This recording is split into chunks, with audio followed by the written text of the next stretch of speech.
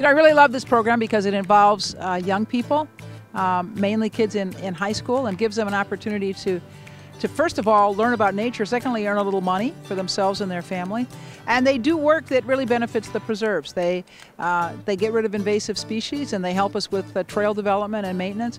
So they do good work, they get paid, and they get a chance to be outdoors. The Forest Preserve experience is a partnership between the Forest Preserves of Cook County and the Housing Authority of Cook County, and it's an opportunity for young people who come out of the Housing Authority of Cook County to participate in programming a first job opportunity, frankly, to do work in the Forest Preserve. And they do restoration work, but they also get to do some fun things like they get to go canoeing and kayaking or learn how to fish. My name is Honesty Williams. I worked with the Forest Preserve program this summer.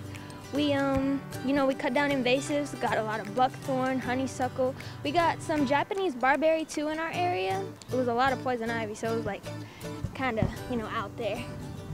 I've been I have been able to see crew members go from crew members to crew leaders. That makes me happy. It makes me feel like I'm I'm making a change. I'm doing something that I'm supposed to do. The Forest Preserve experience for uh, all kids, but especially kids who may not have a chance to to get out, right?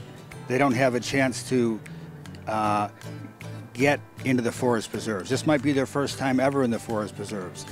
In addition to all of the experiences, crews worked so hard. They worked so hard to clear nearly seven acres of invasive brush with hand tools. You all worked incredibly hard and you should give yourselves a hand.